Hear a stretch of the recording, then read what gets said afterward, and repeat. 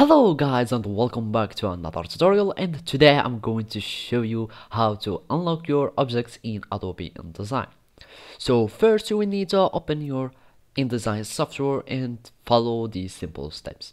Here in this example I'm going just to draw a shape and lock it so I can show you how to unlock it.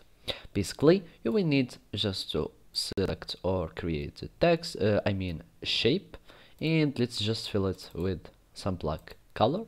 We go to the selection tool and we click on it uh, and right click on it after selecting it.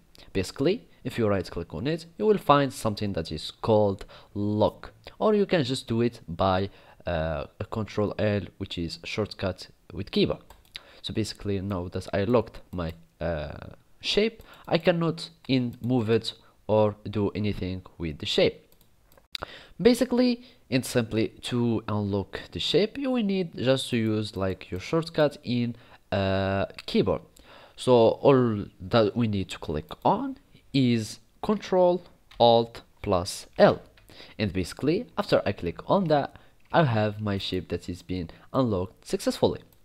Uh, also you should know that this uh, can work on all the objects and all uh, also the text box. So basically let's try it on the text box. So i'm going to write something. Hello world. And i'm having like that. So let's select with the selection tool as i said before. We go with the selection tool. You select your text you lock or just control L. And now I cannot move uh, my shape or uh, my text box.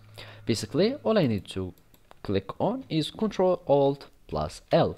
And basically my text uh, or my text box has been unlocked successfully. So simply this is how you can unlock your objects in Adobe InDesign thank you for watching and see you next time